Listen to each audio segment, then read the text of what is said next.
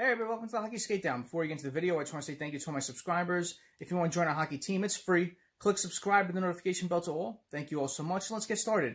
Tyler Toffoli is signed with the Montreal Canadiens, and I really like the signing for the Montreal Canadiens. It adds another uh, forward piece that, that was needed, and um, you knew Marc Bergevin was going to add another forward to this group. I know they were kind of out of the whole um, Taylor Hall sweepstakes, and I'll get to that in a little bit. But today they they announced they signed Tyler Toffoli to a four-year deal worth 17 million, and that's an AAV of 4.25, which isn't that bad.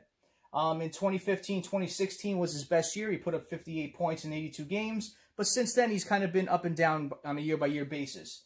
This past year he put up 44 points. The year before he put up 34. The year before that he put up 47 points, and the year before that he put up 34. So I like what he adds. Um, watched him a little bit playing in LA, but when I, when he came to Vancouver, I watched him a bit more, I liked the way he played. Um, I like the way he um, was a complementary scoring piece to the young stars in Vancouver. Kind of played a different game than he did with LA, and I liked the, the style of gameplay that he did with with, um, with the Canucks. And um, they wanted to retain him. They couldn't afford him, so that's why he hit the free agent market.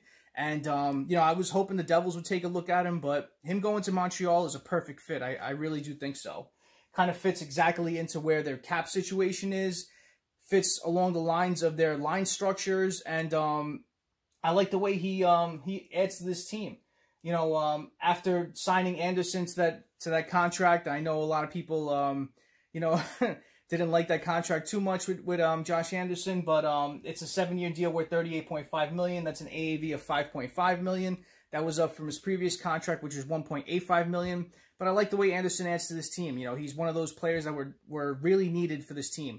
Adds some scoring potential if he's healthy. You could see that in not this past year, but the year before, he put up 27 goals, just a shade under 30. So if he is healthy, he can add a lot to this team. And um, I know Bergevin him for his physical play, his toughness, the way he sticks up for his teammates, the way he could score potentially 30 goals. So um, if all these players are healthy, I like what Bergevin added. I really do. I think they add a lot to this team.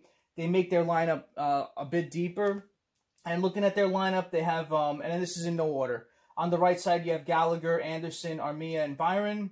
Um, down the middle, you have Suzuki, Danault, Kotkaniemi, and Evans. And on the left side, you have Toffoli, Tatar, Drouin, and Lehkonen. So I know Toffoli can play both sides, the left side and the right side, but Montreal's right side is pretty strong with those players I mentioned, so I could see him playing on the left side for now.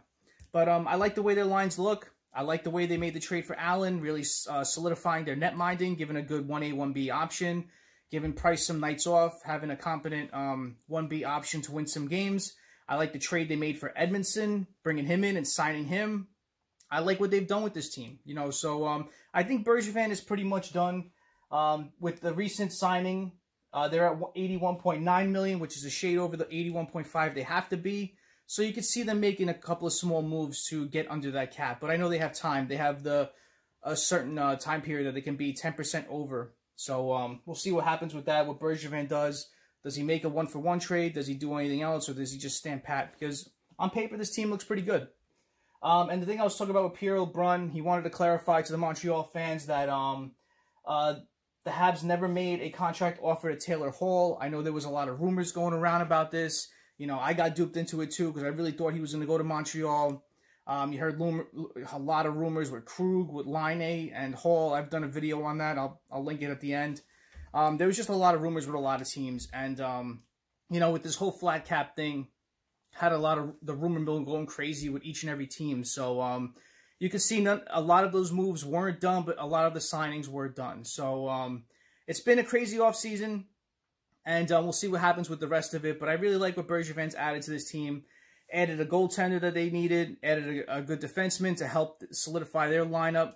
And um, added two forwards while getting rid of Domi. So, um, you know, on paper they look good. Hopefully it can translate to uh, their on-ice play for the following year.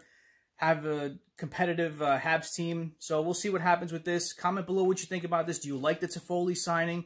Do you like all the other moves that Bergevin has made? Comment below, let me know. And as always, thank you all for your time. I really appreciate it. Smash that like button and subscribe to the Hockey Skate Down. Join our hockey team. Thank you all so much. Have a great night. Have a great day tomorrow. Take it easy.